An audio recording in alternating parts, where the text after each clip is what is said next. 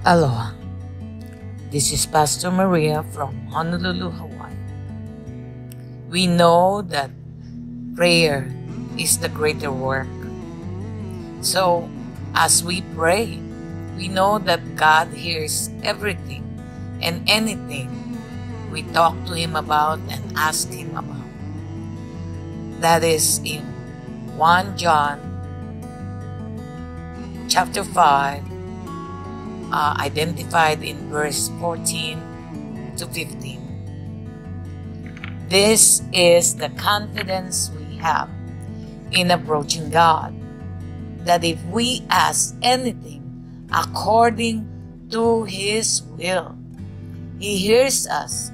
And if we know that He hears us, whatever we ask, we know that whatever we ask of Him, he will bless us. So, in Jesus' name, my prayer today is that we can ask the Father in heaven, thank Him for His Son Jesus, and through His Son Jesus, He'll help us have the confidence that um, He's hearing us, that every prayer that we ask according to His will will be blessed with a yes and amen through Jesus, who is our intercessor that brings up all our prayers to the Father.